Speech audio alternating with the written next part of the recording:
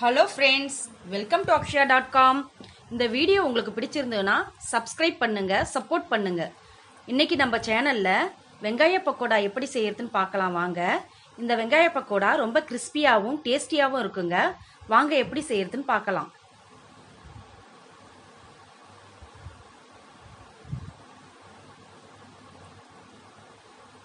நான் ரேஷன் பச்சரிசி எடுத்திருக்கேங்க.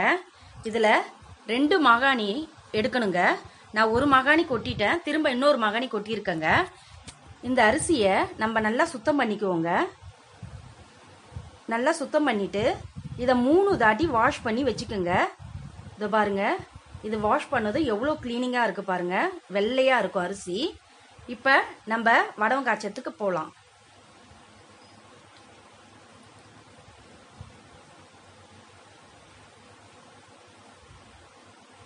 ஒரு ஸ்பூன் சீரகம் எடுத்துக்கோங்க. ஐம்பது கிராம் ஜவ்வரிசி ஊற வச்சு வச்சுருக்கேங்க. நாலு பெரிய வெங்காயத்தை எடுத்து பொடியாக கட் பண்ணி வச்சுக்கோங்க. நாலு பச்சை மிளகா எடுத்துக்கோங்க. ஊற வச்ச அரிசியை வடிகட்டிட்டு எடுத்துக்கோங்க. இப்போ பச்சை மிளகாவையும் ஜீரகத்தையும் கொர கொரன்னு அரைச்சி வச்சுக்கோங்க. மாவையும் ரவை பதத்துக்கு கொர கொரன்னு அரைச்சி இதோ பாருங்க இந்த மாரி வைங்க.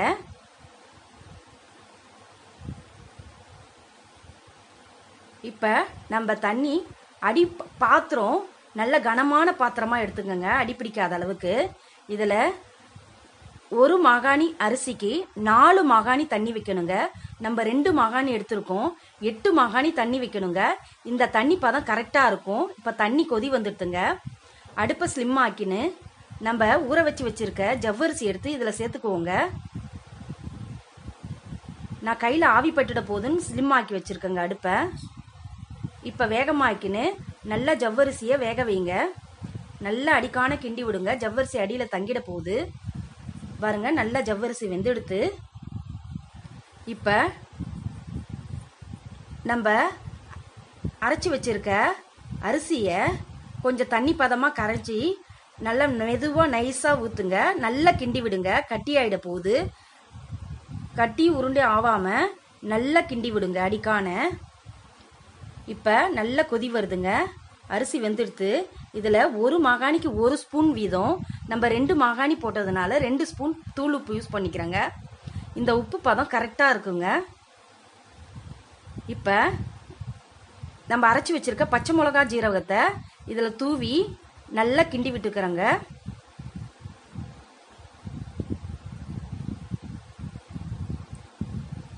நல்லா அடிக்கான கிண்டிக்குங்க.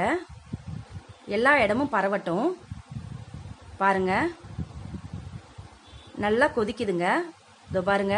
இப்போ இந்த பதத்துக்கு நம்ம நொர நொரன்னு அரைச்சது இந்த பதத்துக்கோசம் தாங்க நல்லா நொய் மாதிரி வெந்திருக்கு பாருங்க.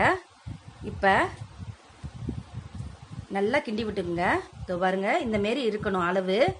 இந்த பதத்துக்கு இருந்தால் கரெக்டாக இருக்குங்க. இப்போ வெந்து போச்சு. நம்ம அடுப்பை ஆஃப் பண்ணிவிடுவோங்க ஒரு இனுக்கு கருவேப்பிலையை கிள்ளி போட்டுக்கோங்க. நம்ம அரிஞ்சு வச்சிருக்கிற வெங்காயத்தையும் நல்லா தூவி நல்லா கிண்டி விடுங்க. அடுப்பை ஆஃப் பண்ணிவிட்டு வெங்காயத்தை போடுங்க. இல்லைனா வெங்காயத்தோட சாறு இறங்கி வத்தலோட கலர் மாறிடும் நிறம் மாறிடும். இப்போ இந்த இந்த சூட்டிலே வெங்காயம் வெந்துடுங்க. நீங்கள் நல்லா கிண்டி விட்டு ஆற வச்சு வச்சுக்கோங்க. இப்போ நம்ம வத்தல் எப்படி போடுறதுன்னு சொல்லி தரல வாங்க. அதுலேருந்து எடுத்து நம்ம அழகாக கிள்ளி கிள்ளி வைக்கணுங்க.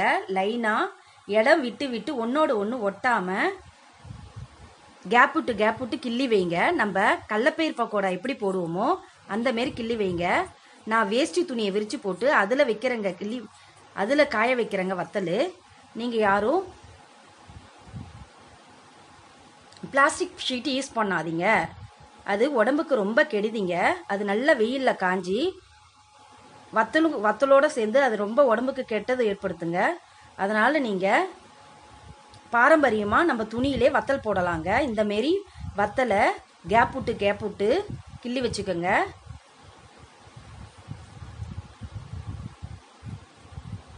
பாருங்க இந்த பெருசாக தாங்க இருக்கும் காய வைக்க கிள்ளி வைக்க பார்த்து. ஆனால் காஞ்சதும் சின்னதாகிடும் திரும்ப நம்ம எண்ணெயில் போட பார்த்து இதே சைஸ்க்கே வந்துருங்க. பாருங்க எவ்வளோ வெள்ளையாக அழகாக எல்லாத்தையும் கிள்ளி வச்சுட்டோங்க.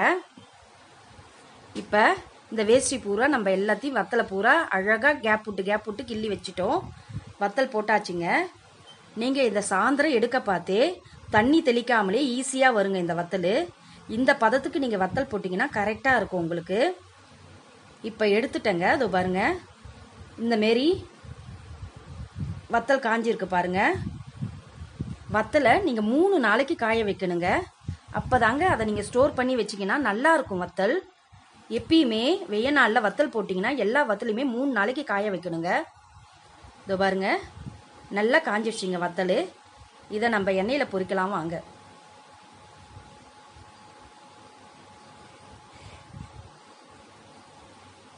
பாருங்க எவ்வளோ பளபளன்னு பொரியுது பாருங்க. நல்லா வெண்மையாக பார்க்கவே ஆசையாக இருக்குங்க. இது நல்லா சூப்பராக இருக்குங்க இந்த வத்தல். நீங்கள் எல்லா காரக்குழம்பு சாதம் சாம்பார் சாதம் எல்லா சாதத்துக்கும் இந்த வத்தலை தொட்டுக்கலாம்.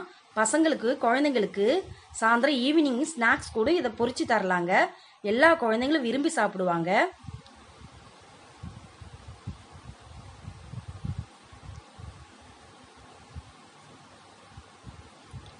இந்த வீடியோ உங்களுக்கு பிடிச்சிருந்ததுன்னா லைக் பண்ணுங்க சப்ஸ்கிரைப் பண்ணுங்க. ஷேர் பண்ணுங்கள் கமெண்ட் பண்ணுங்கள் தேங்க்யூ